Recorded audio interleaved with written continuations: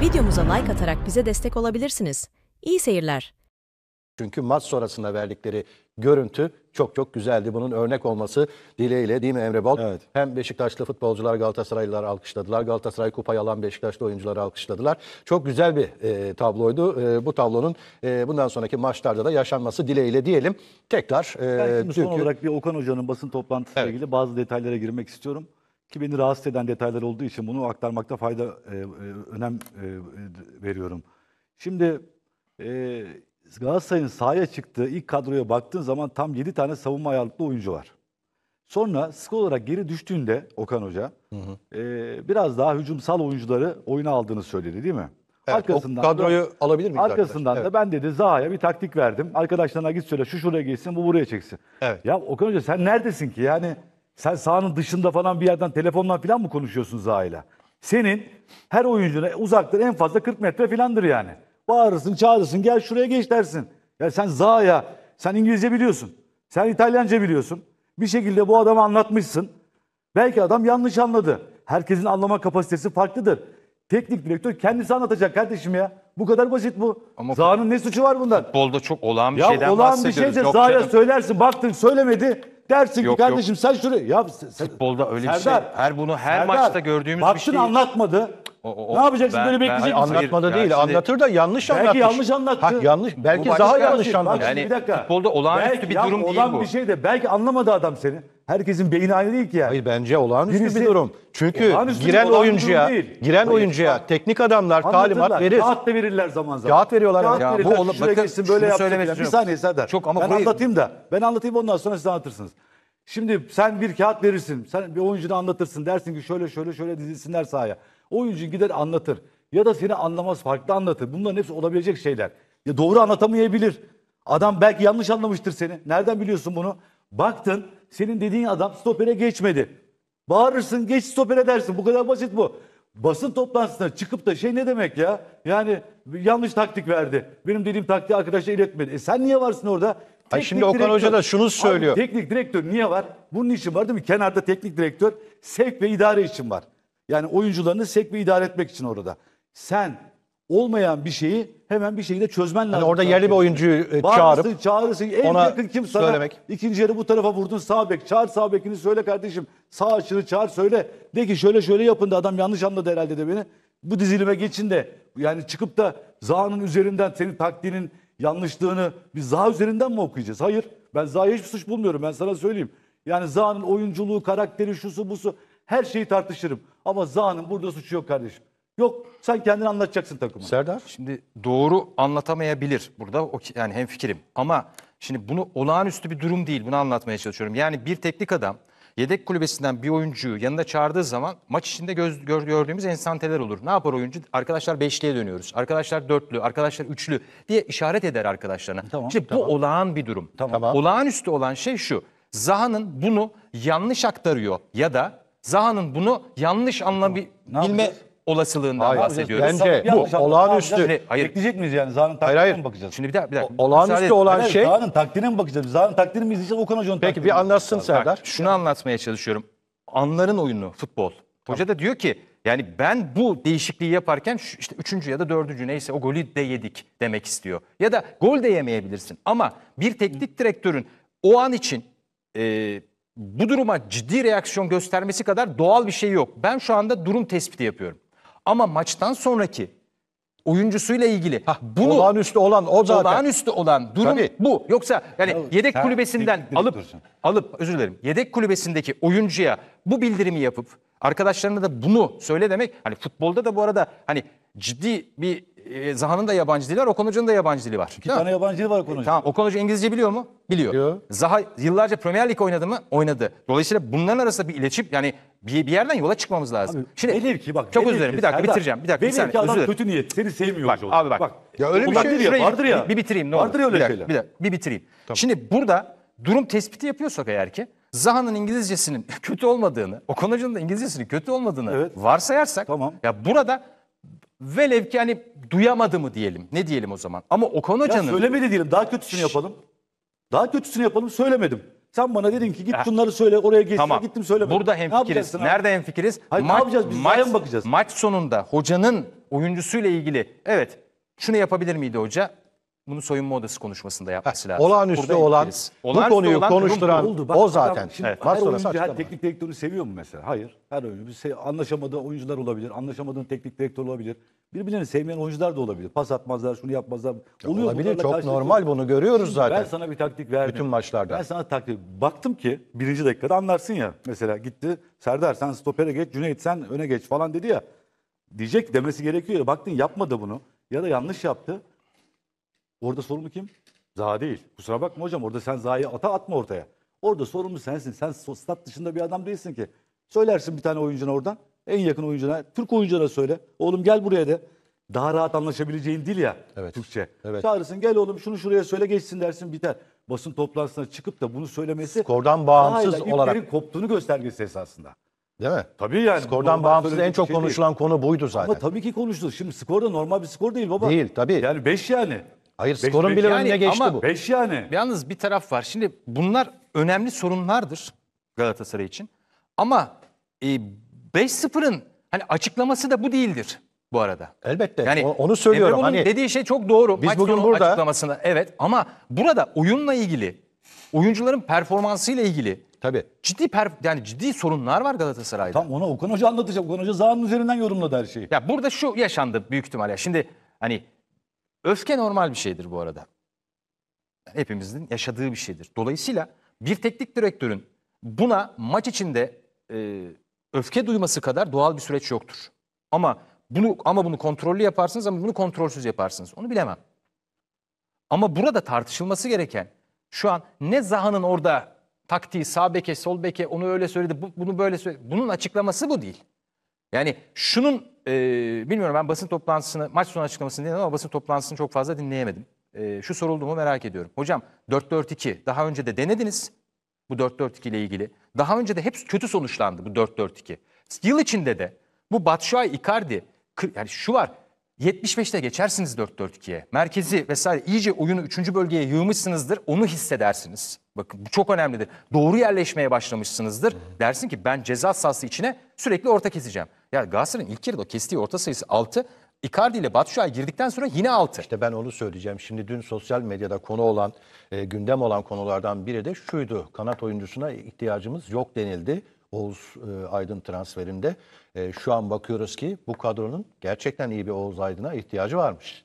Yani şimdi Açık ve net. tabii Galatasaray'ın Ha. yapmadıklarını değil neden yapamadıklarını Beşiktaş tarafından başlayalım bence. Biraz Ya Beşiktaş'a tabii hakim şimdi oldu Beşiktaş'ı konuşalım. Beşiktaş neleri doğru yaptı? İlk tamam e, ilk saniyede saniyelerde golü buldu. Bu çok büyük bir avantaj. Ama Galatasaray'ın bu skorun altından kalkabilecek gücü vardı, kadro yapısı vardı ama Beşiktaş buna da müsaade etmedi. Hiç etmedi. Beşiktaş 90 dakika neleri boyunca- doğru yaptı? 90 dakika boyunca oyun üstünlüğü hep Beşiktaş'taydı. Bunu söylemek Evet. lazım ve ben hocayı tebrik ediyorum Van Bronckhorst. Ben çok Tabii ki. beğendiğim bir bu hoca. kadar çabuk, bu kadar çabuk, bu kadar kısa sürede, bu kadar esasında e, dağınık bir oyuncu grubunu bu kadar çabuk toparlayabilmesi beni gerçekten çok şaşırttı.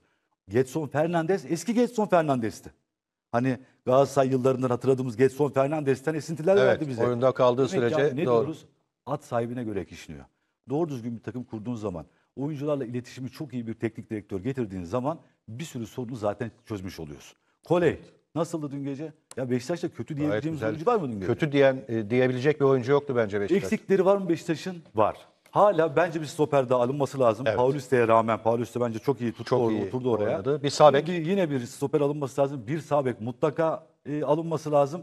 Bir de Masuaku'yu yedekleyecek. Onun ayarında bir sol bek de alınması lazım gibi görünüyor. Ha Masuaku'nun tarafına bilmiyorum yaparlar mı ama ivedi şekilde yapılması gereken stoper, Stoper ve sağ bek konusu evet Ve gündemde maestro zaten yok. çalışıyor yönetim. Maestro yoksa artık maestro var. Bir Rafa Silva. Rafa Silva var. Böyle çok koştu, çok çalıştı. Ben çok beğendim. Yani saha içerisinde böyle onu takip ediyorsun, bakıyorsun, dururken bile takip ediyorsun adamı. Yani zaman zaman kendini dinlendiren, takımı dinlendiren, neredeyse %90'a yakın pas isabetiyle oynayan ki dövüşün çok olduğu bir bölgeden bahsediyoruz. Yani kavganın, dövüşün, e, mücadelenin, çok olduğu bir bölgeden bahsediyoruz.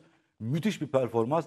İşte Rafa Silva geldiği zaman nasıl heyecanlandırır hepimizi? Heyecanlandığı kadar varmış. İnşallah bu performansını devam ettirir bize şöyle bir zevkle izleriz. Immobile de çok iyi mesajlar verdi. Yani topu iletin, ben gerekeni ben, yaparım. Ben içeri atarım. Ben gerekeni yaparım. Yani Immobile e, o da e, Beşiktaş'ın ihtiyacı olan e, bölgeye yapılmış en doğru transfer bence. E, ve çok gol atacağını tahmin ediyorum, düşünüyorum. Dün mesela Immobile. şey almadı. Ee, hiç kadroda yoktu Abu Kim? Bakar. Abu Bakar. Mustafa Hekimoğlu çünkü harika bir hazırlık dönemi geçirdi. Evet. Van Bronckhorst'un sözlerini az önce yayınladık. Ee, Mustafa'yı bana anlattılar. Onunla çalışma fırsatı bulunca da ne kadar kaliteli e, ve söylenenlerin ne kadar doğru olduğunu anladım dedi ve kullanacak ligde. Öncelikle Van, Van Bronckhorst'u tebrik ederim. Ee, sonrasında Beşiktaş Akademisi'ni hafta içi yayınların hepsinde tekrar tebrik etmiştim. Bir daha üstüne tebrik edeyim. Ee, akademisine gerçekten Çok iyi oyuncu çıkardılar gerçekten. Değer veren kişiler var çünkü. Sergen Hoca'ya buradan yine selamımızı iletelim. Çünkü onun çok büyük bir emeği var. O oluşumun e, gerçekleşmesinde. E, ve oyuncuları hazırlarken bu oyuncular, şimdi bazı takımlar var mesela ligimizde. Akademiden oyuncu koyuyorlar 18'lerine. O 18'lerine koydukları oyuncu oyuna bile almaya cesaret edemiyor teknik direktörler. Bunlar da var akademilerde.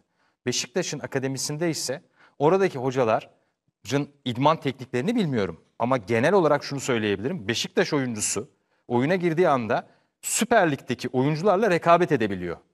Bence buraya bir diğer takımlar da bir baksın bence. Yani burada acaba neler oluyor? Evet. Beşiktaş Akademisi'nde. Ee, Van Bronckhorst'un Galatasaray analizi çok iyi, onu söyleyebilirim. Yani Galatasaray'a karşı hocanın e, hafta içinde kurguladığı plan, e, Galatasaray'ın ise Beşiktaş'a karşı kurguladığı plan, o da bir e, izlenmiştir ama mesela en son Beşiktaş Gençler Birliği maçına bu kadroyla çıktı, hazırlık maçına. Grazer maçına hemen hemen bu kadroyla çıktı. Hep aynı kadrodan çıkıyor ya. Yani Evet, evet. hani- Bir kadro yani istikrarına- şunu anlatmaya Hayır, çalışıyorum. sığdırmak için. Önem veren bir hoca. Tabii, hayır aslında şunu istikrarı. anlatmaya çalışıyorum bir taraftan da. Yani Beşiktaş yeni bir takım falan olmadı.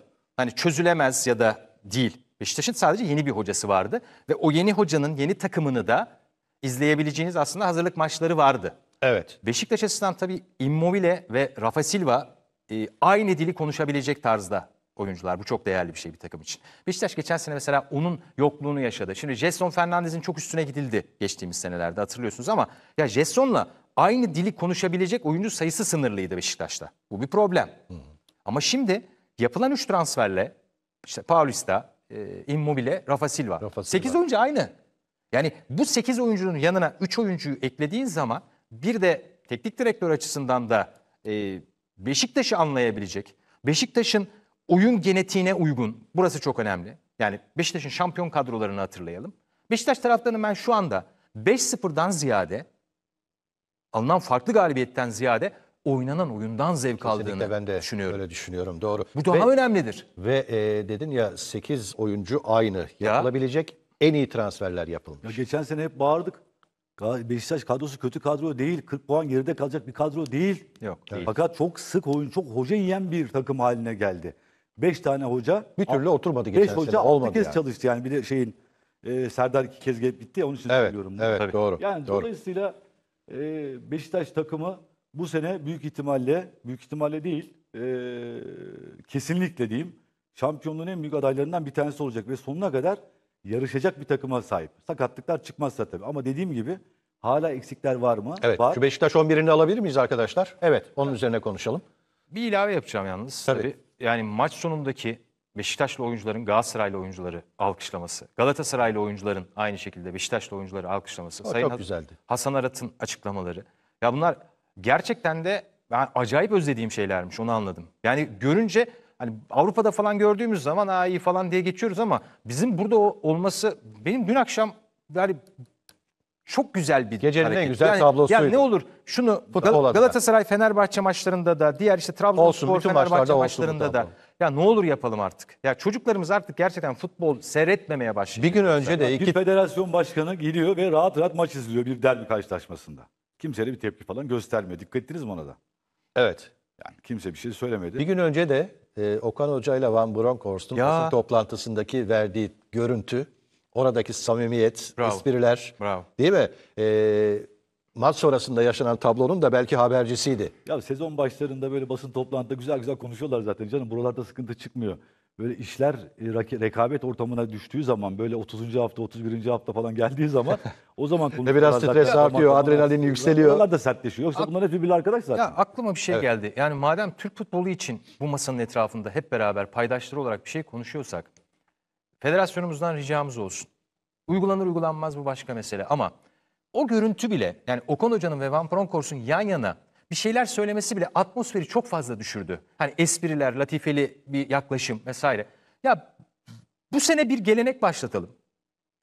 Derbi öncelerinde iki hoca aynı anda basın toplantılarını yapsın. Bir kupa olması önemli değil ucunda. Evet.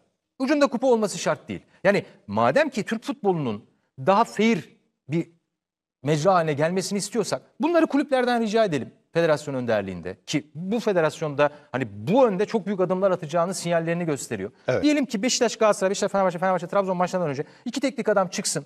Beraber basın toplantılarında atmosferi biraz düşürsünler. Derim. Bu arada maçın hakemini hiç konuşmadık neredeyse. Gerçi böyle beşlik maçlarda falan çok kolay kolay konuşulmaz hakemler. Yani Evet. e, sorumlu başka sorumlu gerçek sorumlu aranmaya başlanıyor. Çünkü böyle fark e, arada fark olan karşılaşmalarda. Fakat ben hocayı beğendim. İyi bir maç yönetti. Onu söylemek lazım. Evet. Sadece bir Immobile bir Barış Alper pozisyonu var ki böyle bayağı bir iteleşme e, şeyiydi. Immobile'nin böyle vurduğu, tokatladığı falan bir pozisyon var.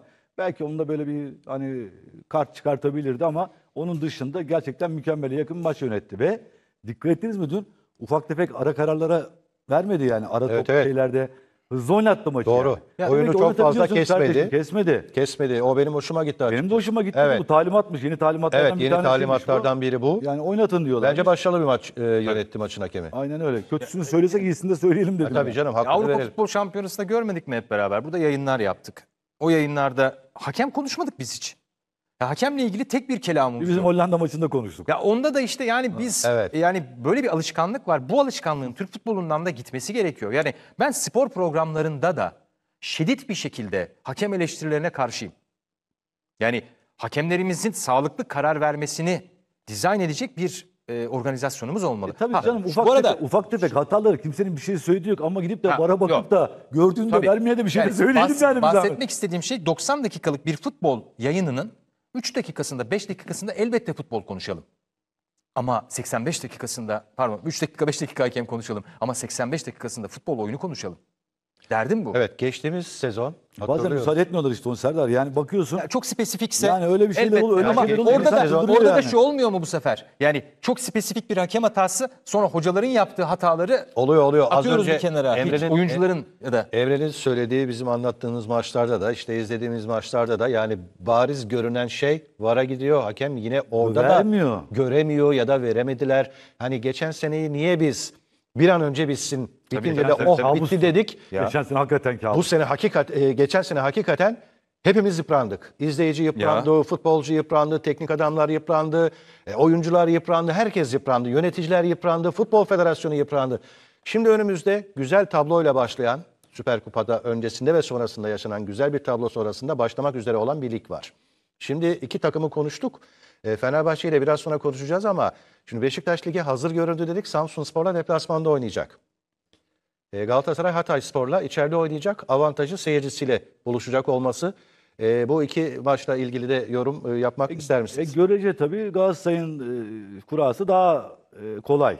Görece diyorum tabii. Şimdi Cuma günü oynayacak Açıkçası Galatasaray. ben ne Samsun Spor'un ne de Hatay Spor'un durumunu pek iyi Hah, bilmiyorum. oraya getireceğim. Yani Onun öyle için de bir durum sordum. Var. Biraz böyle soru işareti. Tabii. İşte bu biraz oynadıktan sonra 5-6 hafta sonra filan her bütün Takımların- takımlar hakkında daha net e, konuşabilme şansımız olacak. Evet. Ama eğer bıraktığımız yerdelerse bıraktığımız yerdelerse Samsun Spor iyi bir yerde ha, bıraktı. Beşiktaş ve Galatasaray yine favoridir elbette. Evet, yani. evet. Peki. Şimdi e, peki e, Gabriel Sara'nın takıma katkısı için ne diyebilirsin E, sevgili Serdar? E, Sara ile ilgili yazdıklarını da okudum. Kısa bir şekilde onu da konuşalım E, ve Fenerbahçe ile e, programı bitirelim. Yani belki hayatımda ilk defa bir futbolcuyla ilgili e, çok net konuşamayacağım. Ve bence çok yuvarlamayı sevmem. Emre söyledi zaten yani. Yani ben şuna bakıyorum. e, fiyat performans çok önemli. Ama e, yani oyuncunun hangi ligde olduğundan ziyade oyuncunu yani izledim oyuncuyu. Öyle söyleyeyim. Yani son bir haftada e, izledim. İzlediğim kadarıyla tabii ki yetenekli bir oyuncu. E, ama tabii bu futboldan anladığımız yani hepimiz ayrı şeyler anlayabiliriz. Futbol bu yüzden çok güzel bir oyun. Ben mesela 8 numaradan beklentim biraz daha Fred tarzı adamları seviyorum ben. Ne bileyim Fofana tarzı adamları seviyorum. Yani şundan bahsediyorum. Oyunun hücum yönünü oynasın ki Gabriel Sara bunu oynar.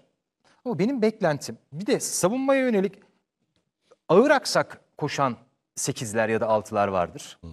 Yani koşu ritminden, koşu temposundan ve koşu kalitesinden bahsediyorum. Bir de öyle bir oradan bir koşuya çıkar ki top ayağında olan oyuncunun belki 5-6 metre gerisinde olmasına rağmen alır söker o topu tekrar size kazandırır. Evet. Ve e, yine 8'den beklentim.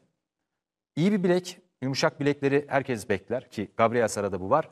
İyi adam eksiltecek iyi bir 8'iniz. Yani oyun akarken, akan oyunda veya sette öyle bir anda rakibin dengesini bozacak ki bunu kimi zaman fizik kuvvetiyle yapacak, kimi zaman ayak tekniğiyle yapacak. Gabriel Sara biraz bileşik tekniği kullanarak bunu gerçekleştiren bir oyuncu. Dolayısıyla o genel olarak oyuncuyu tarif etmek gerekirse pasör bir oyuncu. Evet. Ve Okan Hoca'nın anladığım kadarıyla Okan Hoca pasör seviyor. Yani Kerem Demirbay pasör. Yani oyunu okuyan, uzaktan şut atabilen, pas veren, pasları isabetli Yani- olan e, bir oyuncu yine, olarak hani. hani yine e, Gördüm. Galatasaray işte Sergio gibi pasörü, Kerem Demirbay gibi pasör denedi. E, yine Gabriel Sara gibi pasörle.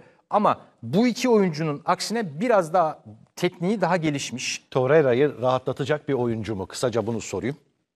Bence farklı özellikte bir oyuncu. Torreira'yı rahatlatacak bir oyuncu mu? Torreira'yı Yani orta sahanın yükü yine tamamen Torreira'ya mı kalacak? Yoksa Mertens yani pozisyonunda mı acaba düşünülüyor? İşte Yilert transferini de birleştirince Yilert işte Gabriel Sara'nın o geriye yönelik yani sağ iç oynatacak yüksek ihtimalle. Yani Torreira sol içte.